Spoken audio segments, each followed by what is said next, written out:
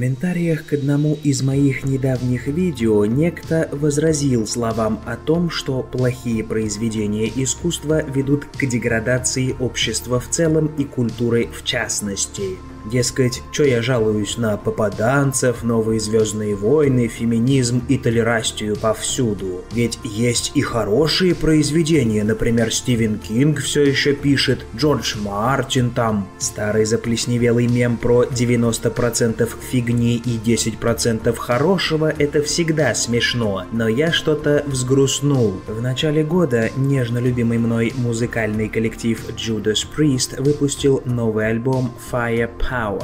Альбом вышел отменный, в нем слышатся старые добрые присты, разве что слегка постаревшие. Да и Хелфорд уже не может настолько эпично визжать, как раньше. Но в целом звучание каноничное, классическое, я бы сказал. Особенно мне понравилась песня «Огнемет».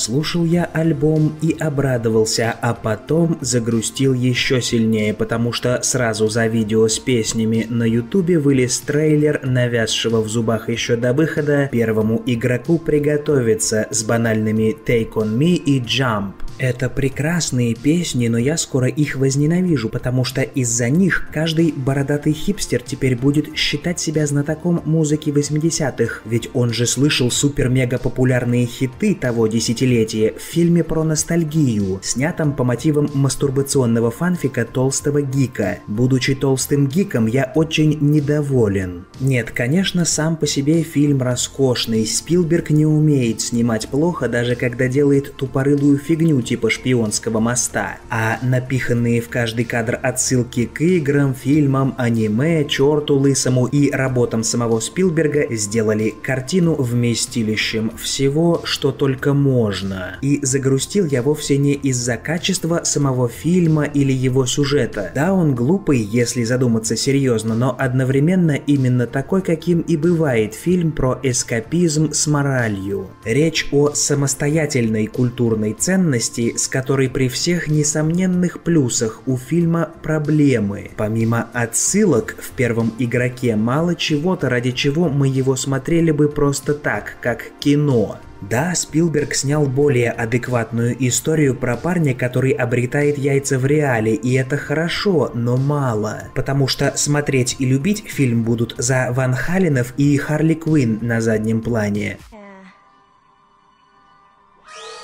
Добила меня реклама сериала «Кобра Кай» продолжение саги «Парень-каратист. Не путать с карате-пацаном» культовой франшизы 80-х, откуда и пошли все современные вариации клише мономифической стадии преображения с помощью мудрого наставника. Главным героем становится постаревший антагонист первого фильма. Постмодернизм и вторичность, но выглядит задорно, однако легче мне от этого не стало. Потому что что еще есть вокруг? Новые synthwave композиции, сиквелы Звездных войн упаси Вейдер, новые фильмы про Бэтмена, сериал по Властелину колец, третья часть Джона Уика, Kickstarter Команда Ниндзя, может быть сиквел Kung Fury? Тут я и вспомнил, почему некогда увлекся стилистикой retrowave а, в которой выполнены мои видео, и вообще с новой силой закопался в культуру, стиль и искусство 30-летней в среднем давности.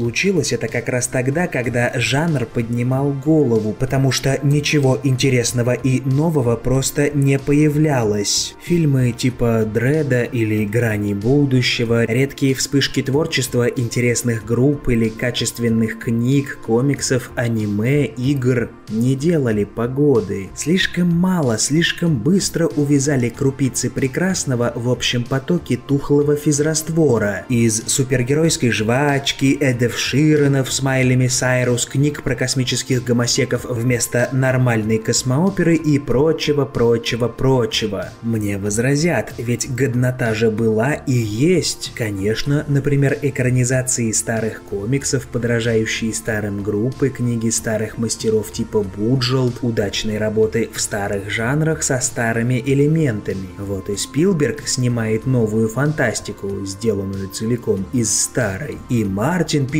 очередной том старой саги, и Присты выпустили новый альбом со старым звучанием. Это ведь так хорошо и здорово, когда культура держится на 70-летних стариках, выпускающих ностальгическую продукцию или продолжение того, что уже было. А среди молодежи либо синтетическая бездарность, либо самородки, идущие на поклон все к той же синтетической бездарности, потому что альтернативы на рынке нет. Но у меня вопрос, вот уйдут мастодонты типа Кинга, Мартина, Пристов, Спилберга, кто останется? Откуда возьмутся новые? Ладно, появляются еще иногда самородки типа режиссеров Джона Уика, но их слишком мало, потому что особых перспектив нет, как раз потому, что вся система, вся надстройка собралась вокруг мастодонтов, на которых уповает как блохи на барбоску. Молодых же и талантливых творцов сразу же расхватывают на съемки ремейков и сиквелов. Так что крайне наивно считать, что состояние массовой культуры не изменится, потому что в данный момент момент в ней все еще есть мастодонты. Это все равно, что хвалить нашу эстраду за то, что там есть Пугачева, в сравнении с которой Ленин в мавзолее выглядит бодрячком. С поправкой на то, что при всех недостатках Буджелт, Мартин или Спилберг делают свое дело хорошо, а она уже вообще все делает никак. Вот почему главной новинкой сезона становится экранизация литр ПГ, потому что там есть фишка, что-то знакомое знакомое. Крючок, за который можно зацепить потребителя и, следовательно, на нем заработать. И нет, я не говорю, что отсылки, ностальгия или вдохновение классикой это плохо, напротив, это очень хорошо. Но ключевое слово здесь вдохновение.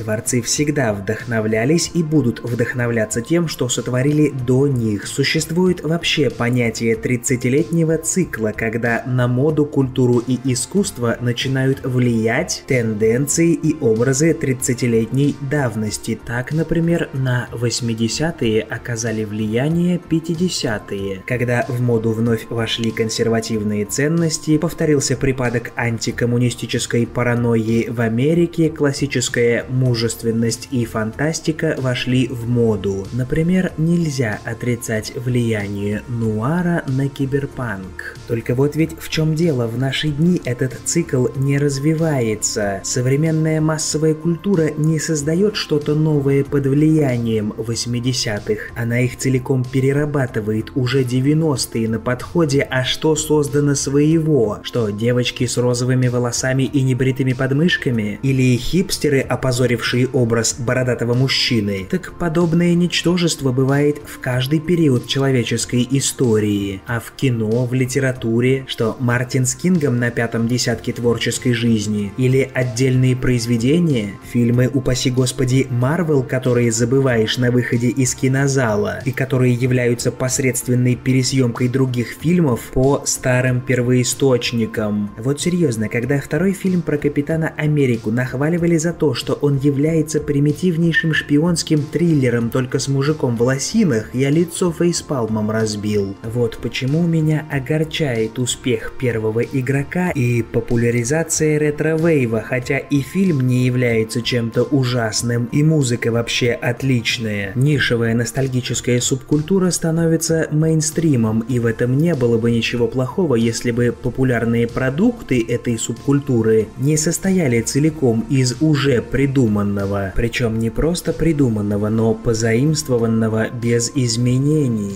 То есть вместо того, чтобы на почве Нью-ретро вырастить нечто свое, нечто оригинальное, как Звездные войны выросли из Флэша Гордона, Бака Роджерса, Дюны и еще черти чего, сейчас в текущем климате уже имеющиеся будут просто эксплуатировать. Первый игрок это не первый продукт с отсылками, но самый дорогой, с соответствующей стилизацией и тематикой, и, как мне кажется, самый качественный. Дальше будет только хуже, как стало с тем же ретровейвом. Рынок заполонили однообразные музыканты, зачастую берущие самые поверхностные признаки типа электронного звучания и неоновых решеток на обложке альбома, потому что смысл существования такой продукции не в создании нового, а в эксплуатации уже созданного. Нам будут продавать наши уже имеющиеся воспоминания за новые деньги. Ну, это как вместо самостоятельного произведения продавать фанфик. Так почему кто-то думает, что такой же фанфик, только с правильным оформлением, будет чем-то лучше? Отсюда и растут ноги у эпидемии ремейков, экранизаций, ребутов и прочей фигни. Да, адаптации первоисточника были всегда, и ремейки снимали на протяжении всей истории кино. Но сейчас ситуация усугубилась. Почему? Понятно. Как мы уже неоднократно неоднократно говорили, кризис экономики порождает кризис культуры, надстройка – базис.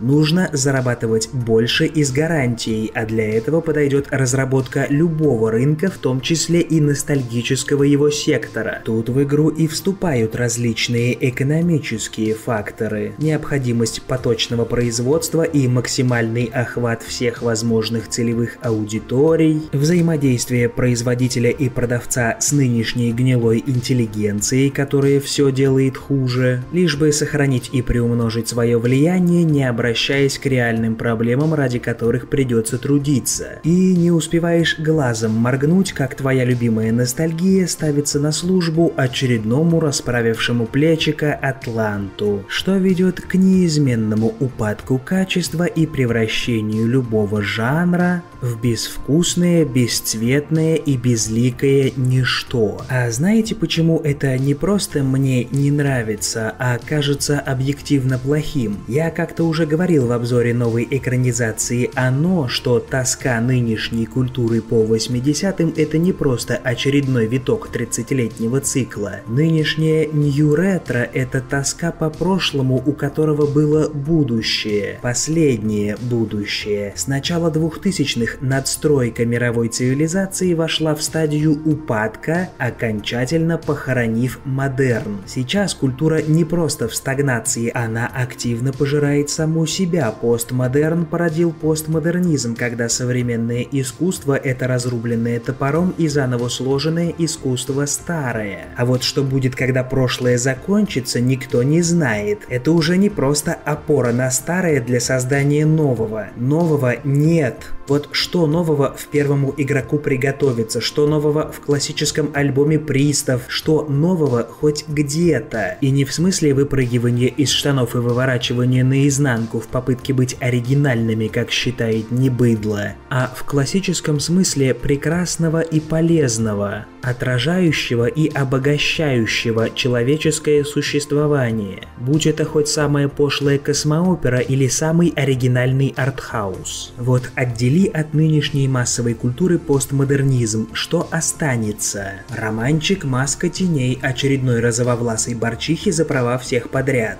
Главная фишка книги – протагонист гендерфлюидный, то есть не считает себя ни мальчиком, ни, собственно, девочкой, что является мощным основанием и мотивацией для борьбы за все хорошее против всей фигни, точнее ради агрессивного самоутверждения. Вы слышите этот милый хруст картона? Мэри? Зачем вы здесь? А еще будут пердильные комедии с жирухами от режиссера «Охотниц за привидениями», целлюлитная задница Ники Минаж, голодные игры, Mass Effect Андромеда и прочий шлак, остающийся от трения творческой импотенции о наследии предков. Бытие уже определило сознание, выросли поколения творцов, не способные создавать что-то компетентное. Союз гнилой интеллигенции и расправивших плечики атлантов оседлых оседлавших коммерческое искусство, превратил массовую культуру в цирк компрочекосов. Уродцы, которые даже не понимают своего уродства, создают содержание и формы, непригодные для человечества. Но сфера превратилась в помойку. И снова предупрежу возражение. Да, хорошее кино, книги и игры существуют, просто речь максимум об отдельных произведениях. Наличие хороших примеров, просто хороших, даже не шедевров, не меняет ситуации, а является ее симптомом. Какой-нибудь Дред или Джон Уик и прочие единичные примеры должны быть середнячком, которого много, а не алмазами в куче навоза или оазисом в пустыне, как сейчас. На шедевры и классику можно любоваться потомкам, а здесь и сейчас их создают те, кто воспитывается в среде с определенным средним уровнем. И если нет достаточной доли продуктов культуры определенного качества и наполнения, то нет и шедевров, потому что шедевр всегда стоит на плечах обыденности. Не бывает никаких 90% плохого и 10% хорошего. Бывает 90% обычного обычного и 10% необычного, которое из обычного родилось. Вот почему контраргумент «но есть и хорошие примеры» не работает. Вот и ответ, почему так люто бешено сейчас защищают старые франшизы на Западе и, например, советское кино у нас. Защищают проедаемый средний уровень, а не чье-то личное детство, которое кто-то заплевал. Пусть подсознательно, но потребитель понимает изуродованное компрочекосами надстройка вторично перерабатывает созданные предыдущими поколениями. И это пугает потребителя до одури, потому что тот нутром чует, потом уже ничего не будет. Ведь то, что пожирается сейчас, не оставит ничего нового на это потом. Не будет феномена уровня «Звездных войн», будут очередные продолжения и спин качество которых будет все ниже и ниже. Не будет еще одного Мартина, но будет куча низкопробной фэнтези с кровью, кишками, инцестом и попаданцами, потому что сама природа создания таких произведений обуславливает упадок. Эксплуатация всегда вырабатывает ресурс. Практика мои слова только подтверждает. И вот наш потребитель радостно возводит карго-культ. Ретро-вейв, ностальгия, неоновые безобразия – это он и есть. Не понимающий до конца проблемы народ пытается воссоздать культуру того времени в чистом виде, словно ритуалом пытаясь вызвать то самое время, когда казалось, что еще впереди что-то будет. Обязательно будут яблони на Марсе и летающие Делорианы. Потребитель старательно делает вид, что наставшей с тех пор звенящей пустоты не существует, или просто пытается сбежать от осознания этого факта в иллюзию продолжения той культуры. Только самолеты к адептам карго-культа так и не прилетели,